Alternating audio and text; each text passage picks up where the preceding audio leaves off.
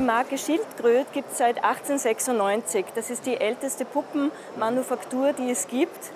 Und äh, wir haben versucht, äh, die, Tradition, die Tradition mit der Moderne zu verbinden. Äh, wir wollen einerseits traditionell sein und andererseits ähm, dem neuen Zeitgeist entsprechen. Kann man das an der Puppe jetzt speziell erkennen? Ja, das ist unsere Prinzessin. Wir haben bei jeder Puppe Accessoires dabei. Das ist für die Kinder sehr wichtig. Äh, die ganzen Accessoires von uns sind nicht zugekauft, sondern gebrandet äh, mit Schildkrötdesign. Wir machen unsere Formen selber. Wir legen sehr viel Wert auf, auf Qualität, auf Materialien, die lebensmittelecht sind und auch die Kleidung ist, es ist alles geprüft, standardisiert, äh, zertifiziert und wir wollen der Qualität, für die Schildkröt steht, seit eben 1896, der wollen wir weiterhin entsprechen.